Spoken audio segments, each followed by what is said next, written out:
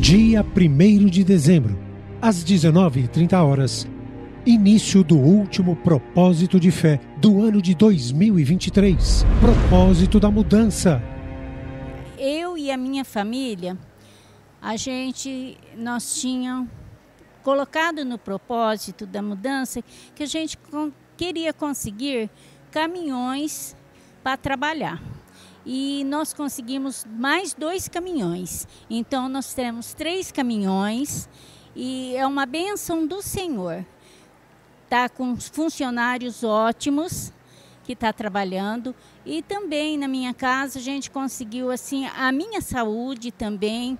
Eu consegui nessa mudança nesse propósito de mudança, pastor, muitas coisas e Deus tem me abençoado assim grandiosamente e eu estou imensamente feliz com o Ministério Mudança de Vida e com as pessoas que me acolheram no Ministério Mudança de Vida.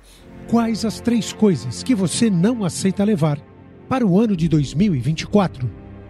Toda glória seja a Deus que, por seu grandioso poder que atua em nós, é capaz de realizar infinitamente mais do que poderíamos pedir ou imaginar.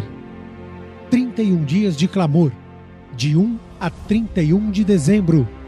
O ano de 2023 ainda não acabou. Deus pode mudar a sua história. Pressione ainda mais. Propósito da mudança.